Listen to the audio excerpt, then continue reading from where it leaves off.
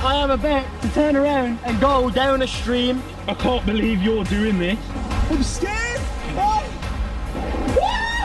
So if any of you recognise where I am right now, you'll know it's from a TGF video. Now this just so happens to be right down where my grandparents live. So after I saw it, I decided to come and check it out. I found yours and see if I could find and retrieve Jay's kayak. So I located the kayak and it wasn't easy to get to, so my granddad and I attempted to uh, grab it through all the weeds and stuff.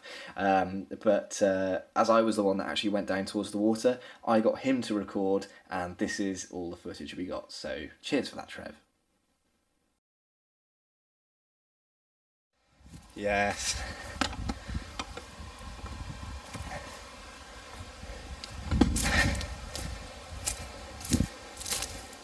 I found yours as well. Come on, lads. this is actually how we're getting it back. I'm going to sit and hold it with the bo- boot open. Can't believe this is how we're getting it back.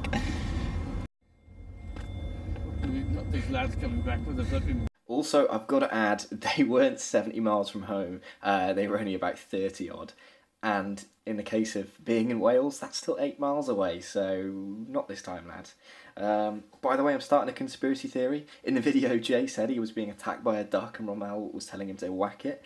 Um, now, there was actually a dead duck down there, uh, so I don't know if um, it's just a coincidence or if Jay uh, actually twatted a mallard. Uh, either way, don't tell the RSPB. Uh, anyway, subscribe and peace.